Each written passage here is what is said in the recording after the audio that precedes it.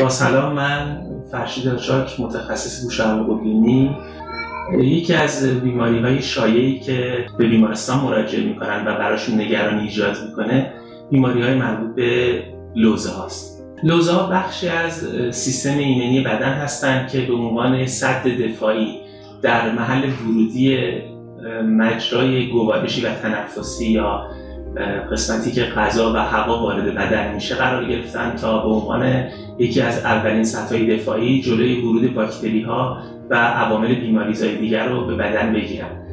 به همین دلیل به خاطر اینکه همیشه یه جنگی بین این سیستم ایمنی و عوامل مهاجم وجود داره لوزه ها به صورت مکرر دچار بزرگ شدگی و هایپرتروفی به اصطلاح میشن که بتونن عامل بیماریزا رو کنترل بکنن. تو بعضی از کودکان به دلیل مسائل ژنتیکی و حتی تغذیه‌ای مثل بچههایی که کربوهیدرات زیاد مصرف می‌کنن بزرگی دوزه ها ممکنه به حالت عادی بر نگرده و اصولا مشکلات مربوط به عفونت های دوزه به دو دسته تقسیم میشن. یکی مسائل عفونی عفونت وارد خون بشه و مشکلاتی رو برای قلب و کلیه کودک ایجاد بکنه.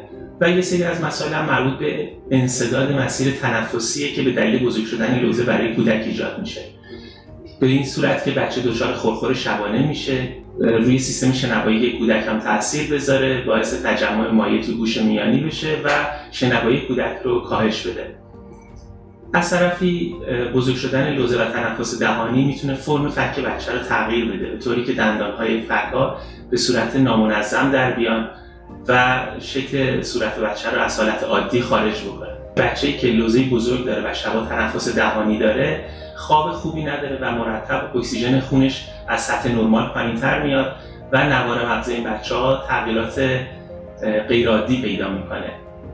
و این تغییرات خودشون رو در طول روز به صورت بیش فعالی در بعضی از کودکان نشون میدن.